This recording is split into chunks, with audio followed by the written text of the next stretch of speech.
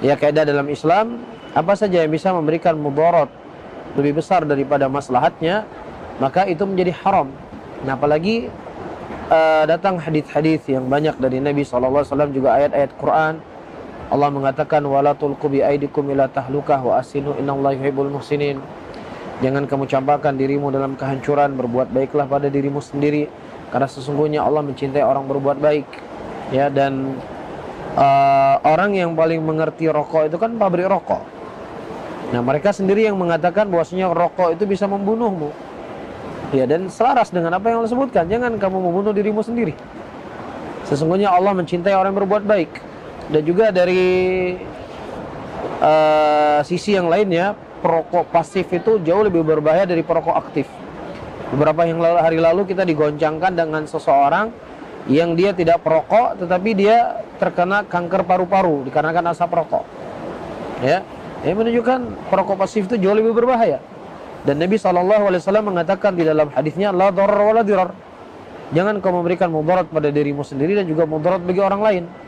Ya, jadi apa saja yang bisa memberikan mudarat, maka Islam itu melarang tegas perkara tersebut. Jadi memang betul di zaman Rasul nggak ada rokok. Sebagaimana juga di zaman Rasul nggak ada sabu-sabu.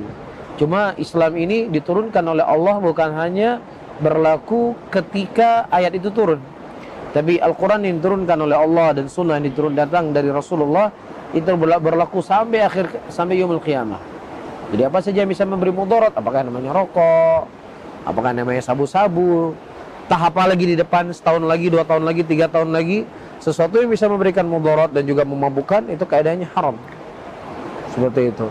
Cuman kan kadang-kadang orang beralasan, tapi ini kan banyak tengku-tengku merokok. Ah ini jadi pot kan. Ini jadi masalah. Iya dan walaupun kadar sedikit Ustaz ya. Enggak sedikit batang, misalnya dua batang. ya ya sesuatu yang haram sedikit dan banyak tetap haram namanya haram ya barang haram. Ya terkadang kan orang beralasan, ya ini lagi proses. Betul, prosesnya kamu kita tidak mengingkari. Cuman yang namanya haram tetap haram.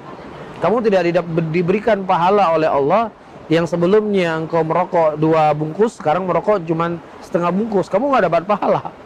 Kamu tetap nama, itu namanya dosa karena Rasulullah mengatakan mana itu anhu fantahu. Apa yang kularang dari kalian dari sebuah larangan hendaknya kalian akhiri larangan tersebut. Seperti itu.